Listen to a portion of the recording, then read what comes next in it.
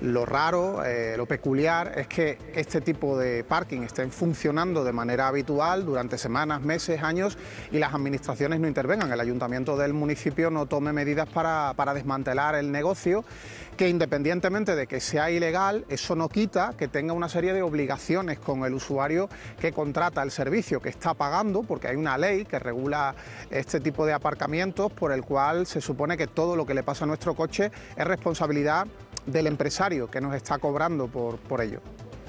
Claro, pero si nosotros dejamos el coche en un aparcamiento de estas características, Rubén, ¿nosotros tenemos derecho a reclamar?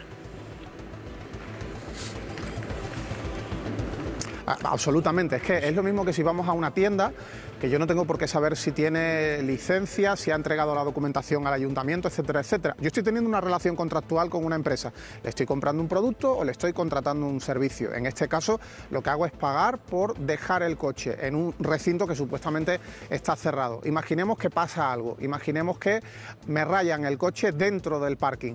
Luego va a dar igual que me digan es que yo no tengo licencia, me desentiendo de todo. No, no, este señor o esta empresa tendrá que asumir la reparación del vehículo, si hay un robo exactamente lo mismo, tiene que asumir la indemnización por los daños y perjuicios que correspondan, porque así lo establece la regulación del sector que plantea que salvo que hablemos de un parking digamos, gratuito, por el cual no haya ningún tipo de pago, siempre tendrán que indemnizarme ante cualquier desperfecto que se le cause al vehículo. Es decir, tiene una obligación de guarda y custodia. Que de por medio no hay una licencia municipal, que de por medio no han pagado unos impuestos, están utilizando un terreno que no es de su propiedad, eso para mí como usuario sería absolutamente secundario, tendría igualmente derecho a reclamar.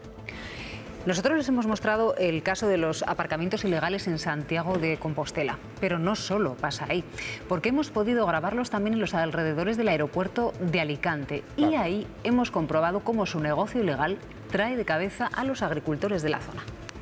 A mí, me ha sorprendido, eh, Rubén, la declaración de la responsable del hotel que decía, bueno, nosotros teníamos aquí un terreno, lo alquilamos, lo asfaltaron y ahí hay un parking. Y entonces, ese parking, me pregunto yo, ¿a día de hoy se puede llegar a legalizar? Hombre, es que realmente las declaraciones que lanzan desde el ayuntamiento son un tanto peculiares. Eso es como si yo tengo un terreno rústico y de repente edifico viviendas y las vendo. así porque sí. Y ahora dice el ayuntamiento, bueno, pues ya que está hecho vamos a legalizarlo. Es que no hay multa de por medio, no hay demolición. Si yo en un terreno, sea mío o no, llevo a cabo una actividad ilegal, una actividad para la que no tengo autorización, como mínimo, en teoría, me tienen que paralizar el negocio y me tienen que sancionar. Si estoy provocando además un impacto negativo a nivel ambiental la sanción debería ser mucho más importante y la paralización mucho más rápida. Decir de repente, bueno, ya que se está haciendo y hace falta, lo vamos a legalizar.